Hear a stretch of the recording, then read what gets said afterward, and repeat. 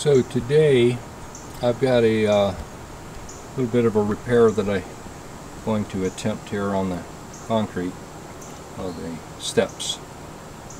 You can see the mortars breaking down and allowing water to get in so that's going to be my project today.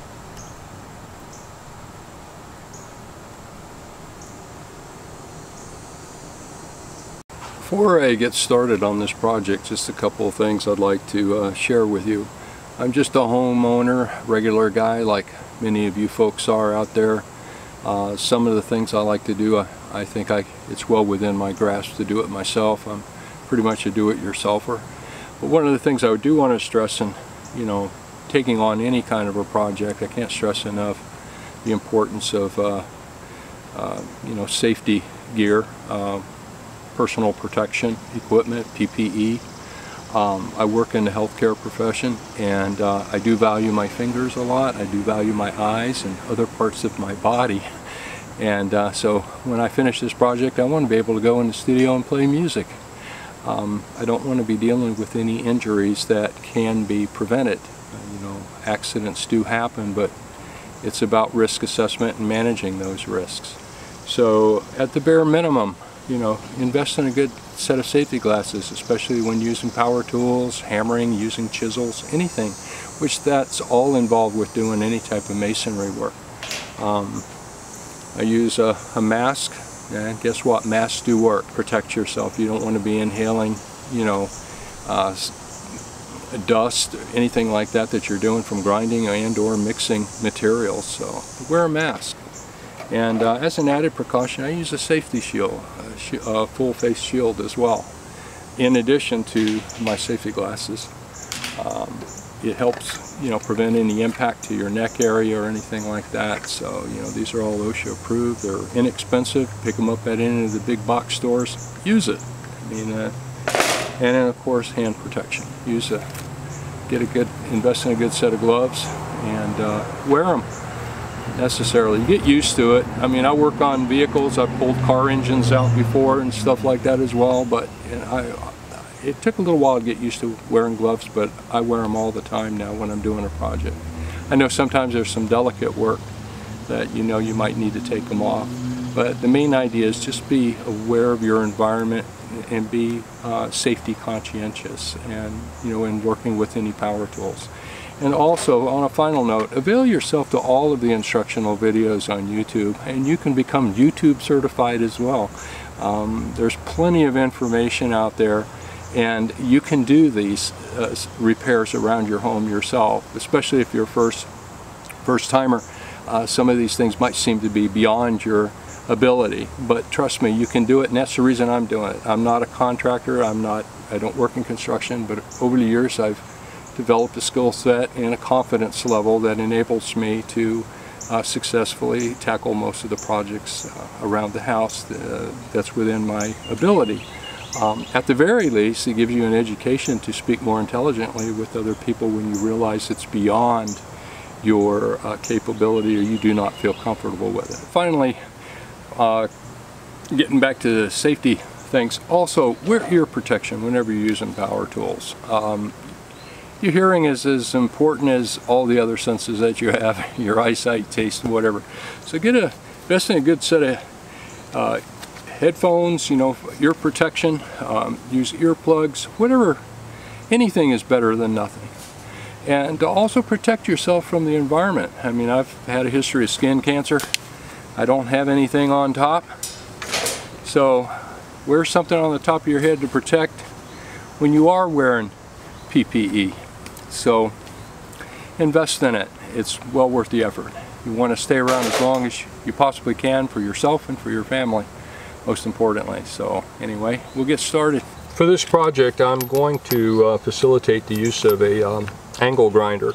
Um, angle grinders are probably about the second most dangerous tool that you can have in your shop outside of a uh, table saw and that's not from me that's from experts that I've uh, talked to and uh, they can be very dangerous Uh, just a couple of safety things. Never remove the shield on a grinder. On this particular grinder, it has a little key here that you can change the position of your um,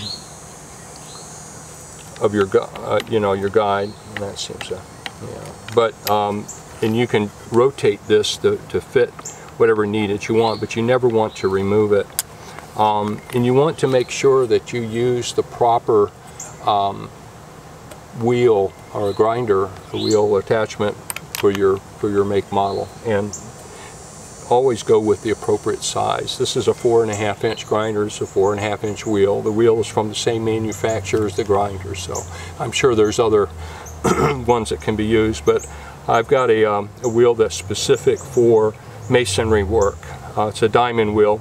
And you want to make sure that the rotation is correct. I know there's a lot of things concerning which direction that they go, but um, this is counterclockwise. And on your grinder, it'll usually have your direction uh, mentioned. So like for here, it's it's going into a counterclockwise counterclockwise motion. Here's the arrow right here that that uh, demonstrates which direction it goes. So basically, the wheel's going to go on this way.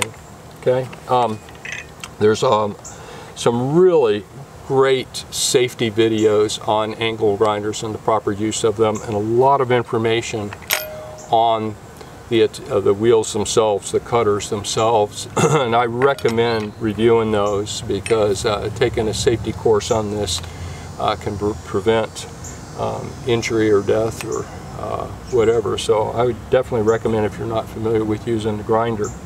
Um, your collet here, uh, there's, there's a area here that's raised and an area that's flat.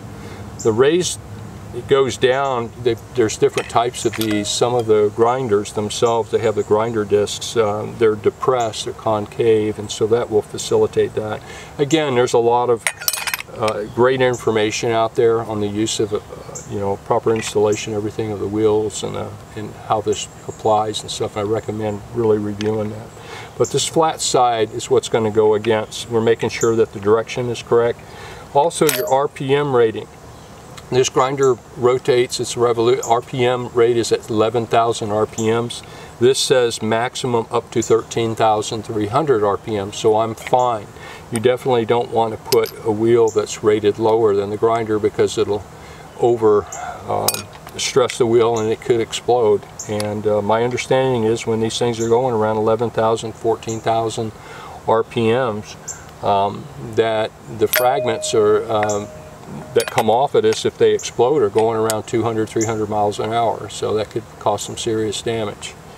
Um, so you just, and this doesn't have to be tightened a great deal because the rotation is counterclockwise. This goes on to tighten to the right, so it's self-tightening in a lot of ways.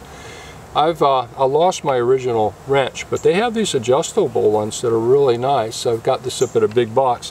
And then later I discovered that on this particular model it has an Allen wrench opening, so you can put an Allen wrench in there and spin it off.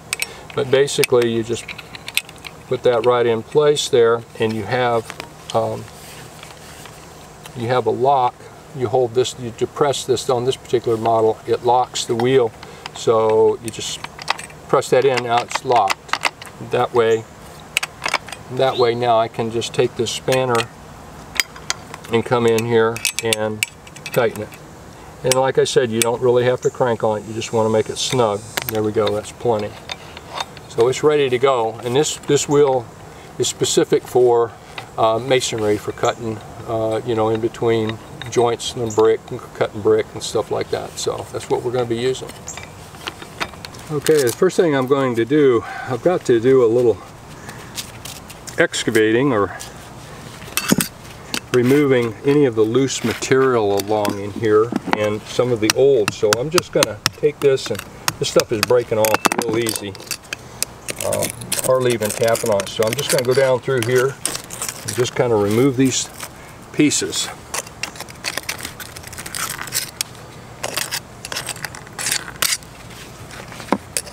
And uh, I've got a, uh, a, mortar chisel and I, I'm hardly even tapping this actually, but this has actually got metal going all the way through the handle, so I'm barely tapping on that. This works a little bit better to the way the shape is to pull it out.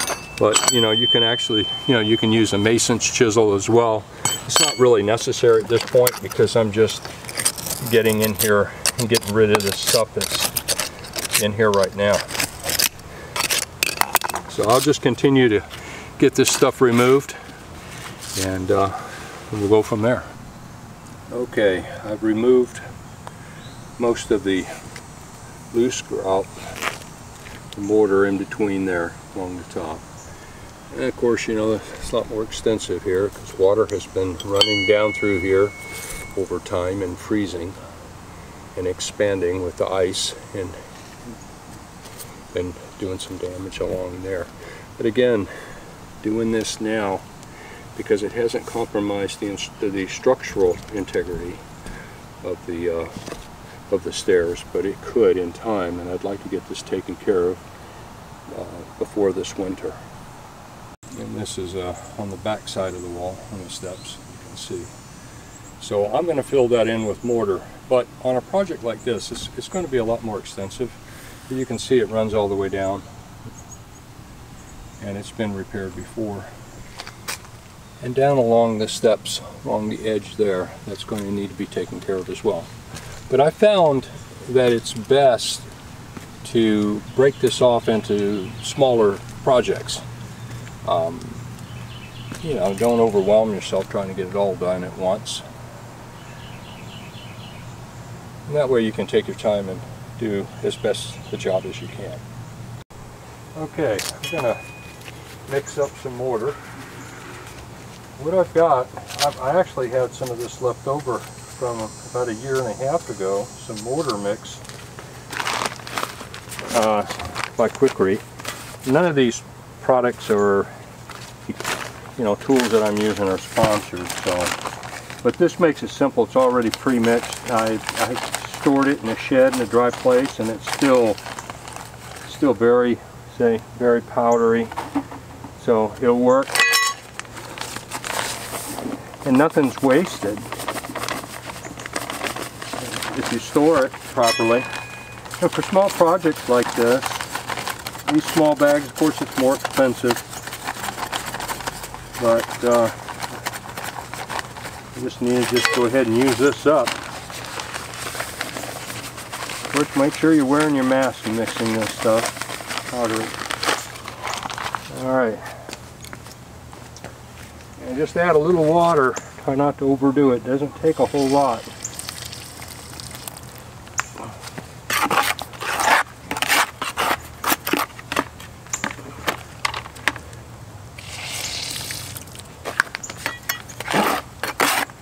I saw one guy add water using a sponge, which was a great idea. Probably would be smart. I'd be smart if I got my other bucket.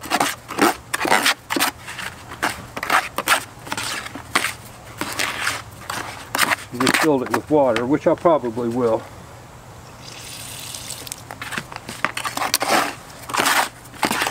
And if you put too much water in there, just add a little more more. So, yeah, it's getting pretty good. I want it fairly thick. That's that's pretty good right there. See, it's almost moldable, and it sticks onto the. They're pretty good. It kind of rolls off, but I'm going to be packing it down in the might be a little too wet, but I'm going to wet the bricks as well because um, if you wet wet those a little bit, you'll have a better bond. You have to be careful, it can be messier, but if you just apply it to dry the bond isn't as strong. But there's a time when you want to do that. But for this project, I want to make sure I got plenty of working time.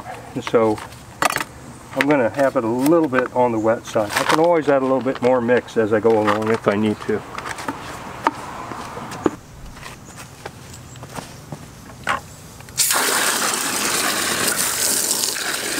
Always good to have a bucket of water close at hand and also the water supply close to here. I did go back and add just a little bit more powder to it so you can kind of see that consistency. It's a lot thicker. See there, it stays on the stays on the trowel pretty good. So that way I can control it a little bit better.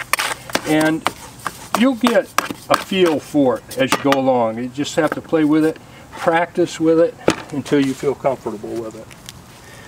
Okay, I'm going to moisten the area. Actually, probably it wouldn't be a bad idea just to spray it a little bit.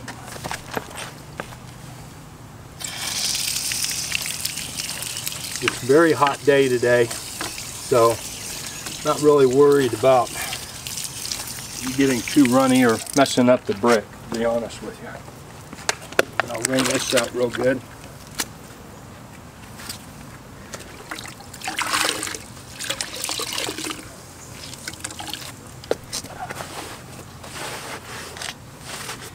I've got sponges and I've got a a brick scraper, whatever they call it.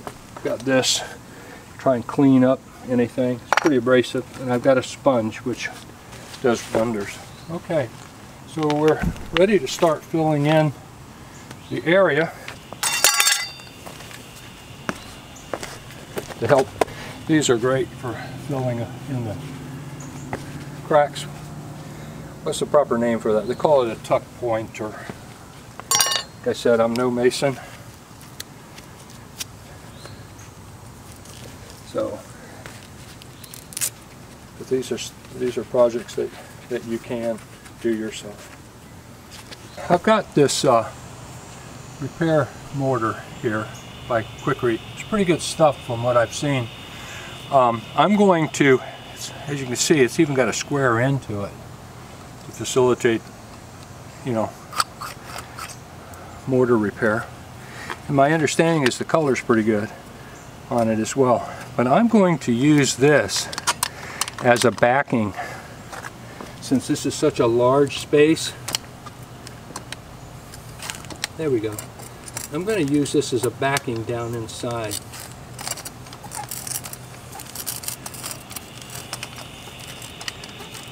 Because the mortar just seems to want to fall away down in there. This is a sealant.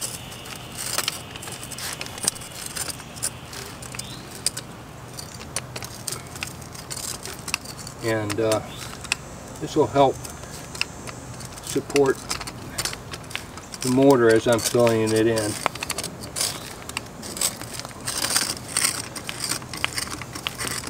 It's a good color though and it's actually got a grainy texture to it I find. So like for simple crack repairs probably would be ideal.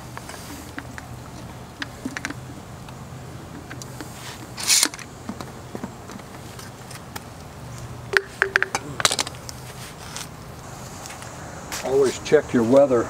I just noticed it sure is clouding over. They weren't predicting rain today, but I don't know. Probably a trowel might work a little better on this.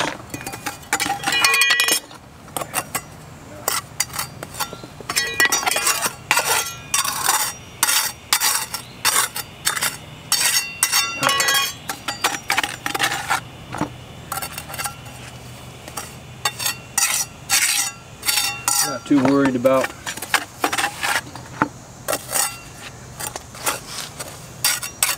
making a mess at this point because you got the material, you know, the tools to clean that up.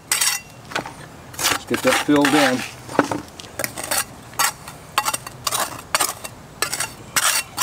And it's a, probably a pretty good consistency for this project.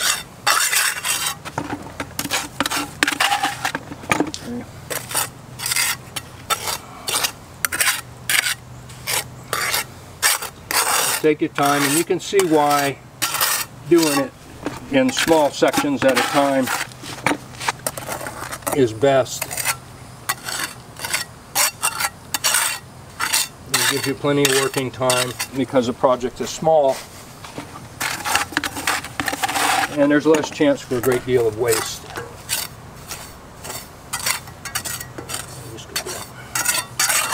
Down in there.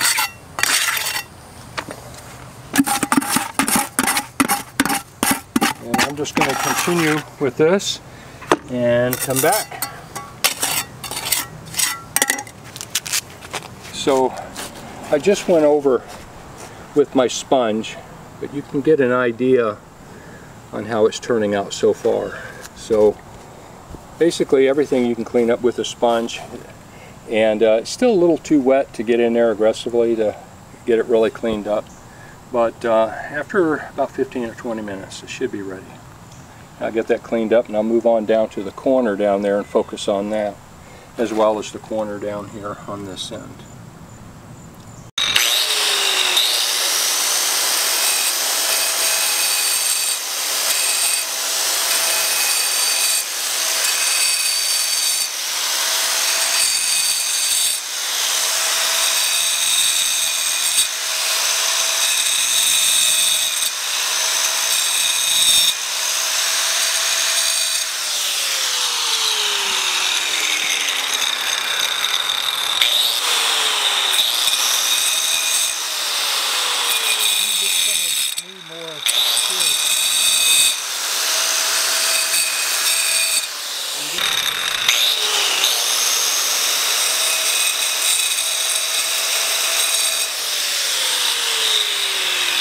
Okay.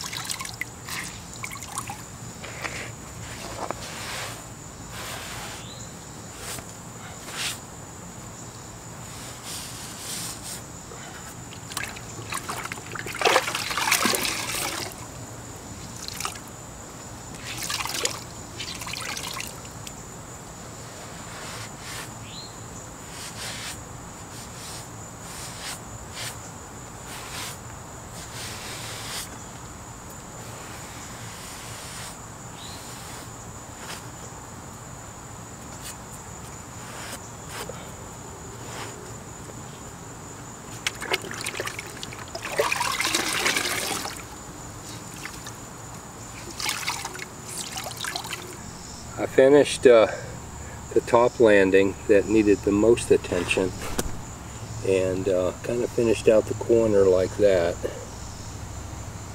Is it as good as what a professional would do? Uh, probably not. but it works for me. It saved some money and also prevented, you know, further damage, which is what's important. And like I said, you know, this is a job that just about anybody could really do easily.